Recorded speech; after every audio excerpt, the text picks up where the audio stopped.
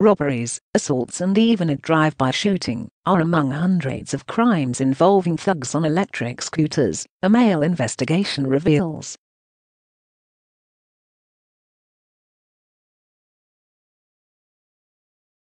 The crime has been disclosed by police in areas that have given the go-ahead to e-scooter pilot schemes.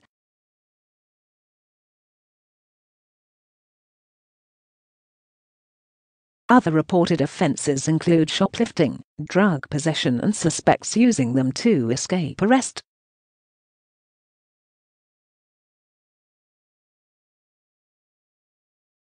Pedestrians were run down by the contraptions, being illegally used on pavements, while in one shocking incident a scooter was seen towing a trailer on a 60 miles per hour limit road.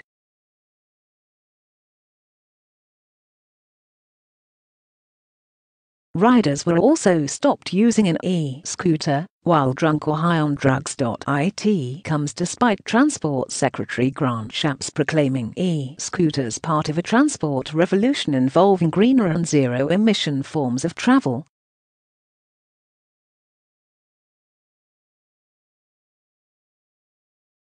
Last spring he fast-tracked the legalization for trials. The Mail sent Freedom of Information requests to police forces covering more than 20 cities and towns across Britain, where the devices are on trial or about to be piloted.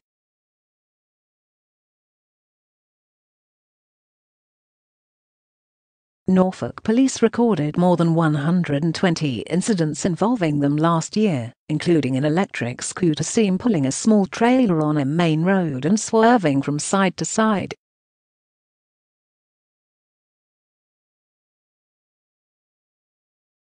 In London, where e-scooters will go on trial in the coming months, Scotland Yard recorded more than 200 incidents last year, the highest of any force that responded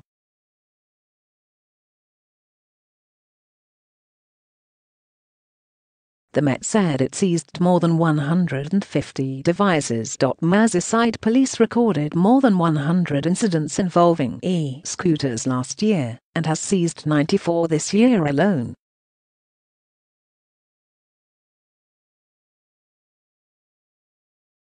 One report of a gun crime described it as an allegation of discharge by person on scooter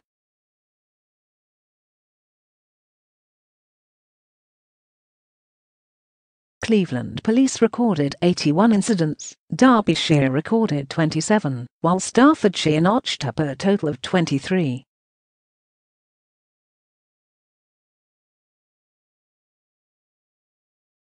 The findings prompted MPs to warn e-scooters are unwanted even as the government considers legalizing them nationwide.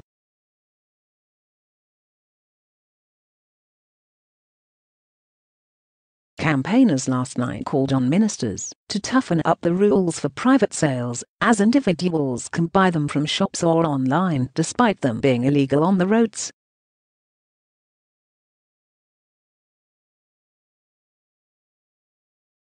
Peter Bone, the Tory MP for Wellingborough, where e-scooters are available for hire in a government-backed trial, said, The initial reaction from my constituents is that they're unwanted.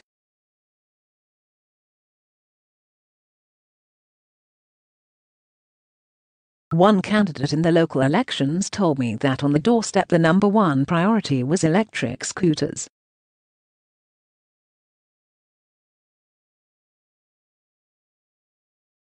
Retailers reported a boom in sales of e-scooters last year amid lockdown. They typically cost from £350, with high-end models running up to nearly £1,000.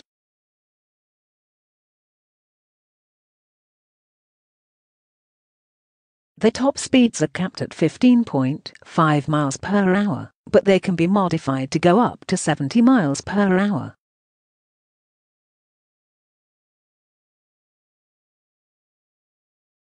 The vast majority of alleged crimes are thought to have involved privately owned e-scooters rather than government-backed devices on trial.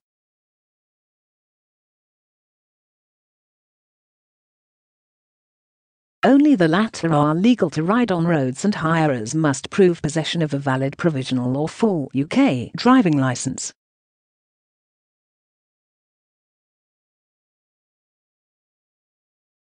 Ministers are not set to make a decision on whether to fully legalise their use until at least the end of the year.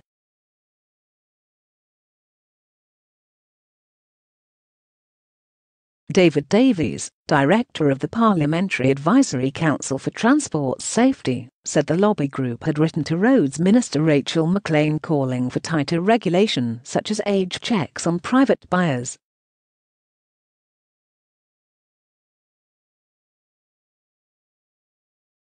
He said, we have an interim situation where the Department for Transport is monitoring trials. Meanwhile, people are buying them hand over fist in shops and clearly using them, and we don't feel retailers are necessarily being responsible.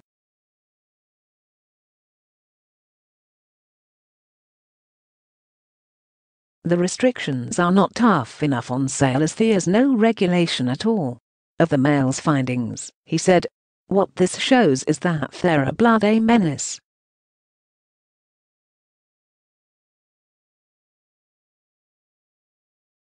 Chris Theobald, of charity Guide Dogs, said, People are increasingly encountering scooters on pedestrian pathways and blind people have to navigate using their hearing, so it's a huge problem for them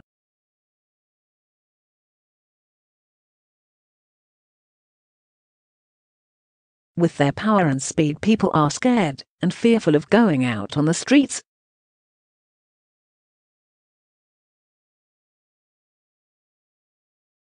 The DfT said it was aware of a minority of instances where e-scooters have been misused and that feedback from the trials will help inform the need for any future regulation of them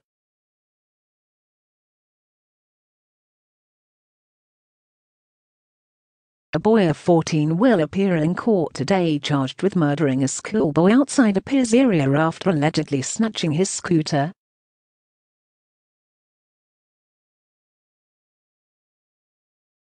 Aspiring engineer Fares Maatou, 14, died while still in his school uniform after being stabbed and struck over the head repeatedly with an iron bar on Friday afternoon.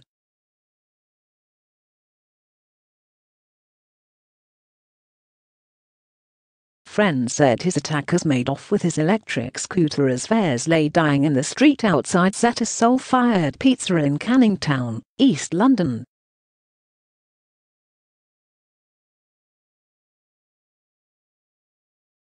The schoolboy's father is in hospital critically ill with coronavirus and only woke up from a coma six weeks before his son's death, family friends said.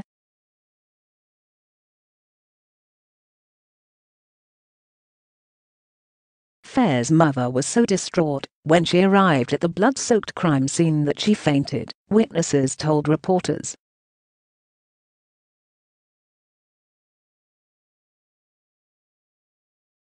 Four teenagers have been arrested, including the youngster charged with murder and possession of an offensive weapon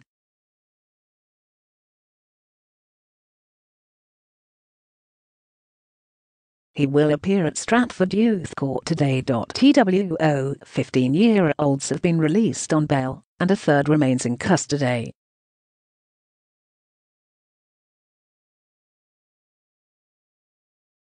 Fares, whose family is originally from Algeria, has an older sister Amira and a brother,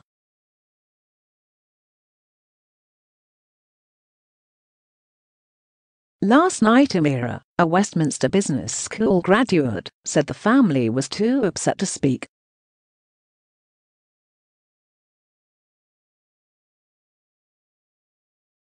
A business owner who saw the attack said a FedEx delivery driver and one of Fares' friends frantically tried to resuscitate him.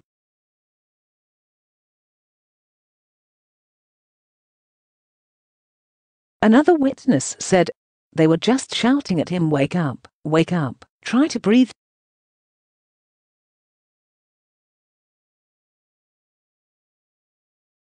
Three or four of us were all shouting loudly one, two, three, so there was a rhythm for compression.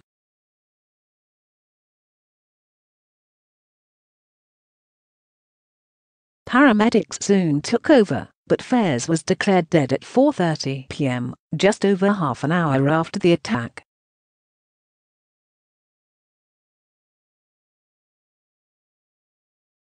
Friends said he was fascinated with bikes and cars and dreamed of becoming an engineer.